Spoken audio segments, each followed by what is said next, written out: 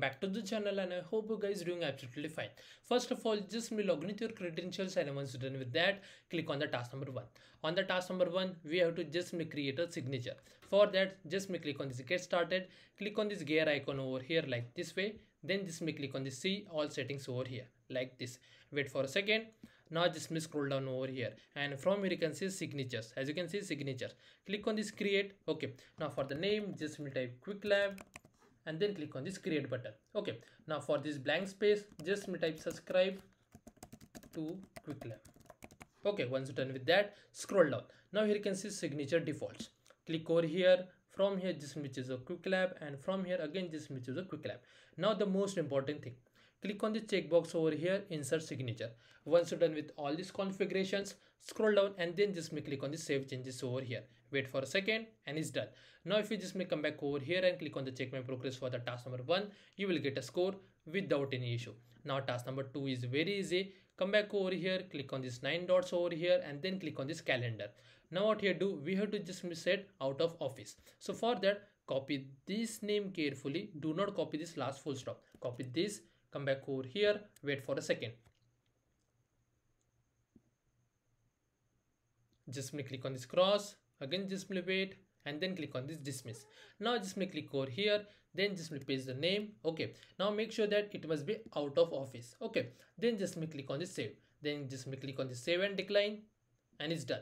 Now if you just come back over here and click on the check my progress for the task number two you will get a green tick over here without any issue. Now task number three is very easy. Again come back over here and from here again just choose the drive.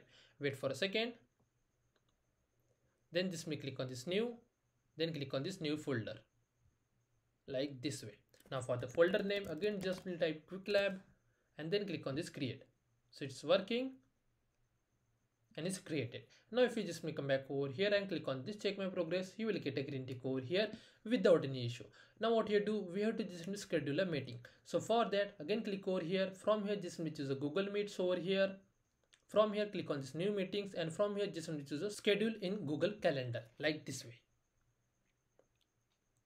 Okay. Now for the title just me copy this weekly status over here. Copy this and paste over here like this way. Okay. Now here you can see do not repeat from here. Just choose the weekly on monday. Okay. Make sure that you have to choose this option. Now here you can see guest. For that copy this user id one this one. Okay. Colleague email id one. So just me paste over here then choose that. Then copy the second one and paste over here then choose that. Okay. Once you're done with all these changes first of all you have to just change the title. Then it must be weekly on monday and then just to guest id then click on the save then click on the send so it's done. Now if you just come back over here and click on this check my progress you will get a green tick over here without any issue. Now task number five is also very easy. Come back over here click on this then just choose the sheets over here. Then just click on this blank spreadsheet. Now for the title name so just copy this name carefully. Come back over here and replace over here. That's it. Now copy this task one and paste on your column number one like this way now for the b column copy this and paste over here. Then copy this priority and paste on your third column. Then copy this fourth one and paste over here. Then copy this last one and paste over here here. Okay once done with all these things click on the share button and again just me copy your colleague email id one and paste over here. Then copy your second colleague id and paste over here. Okay then just me click on the send and it's done? Now if you just come back over here and click on the check my progress for the task number five you will get the score without any issue. Now for the task number six just me open this link in incognito window. Wait for a second. Just me click on the sign in. Just me choose a google.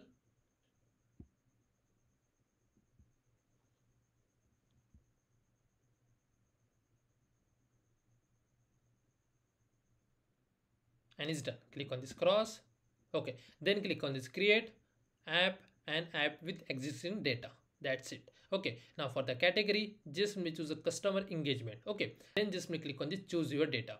From here just me choose google sheets. And then just me choose a project task sheet this one. Then just me click on the select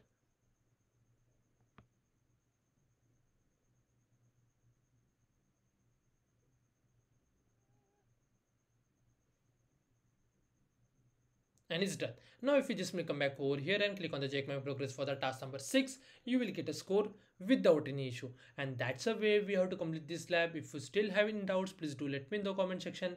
Thanks for watching and have a good day guys.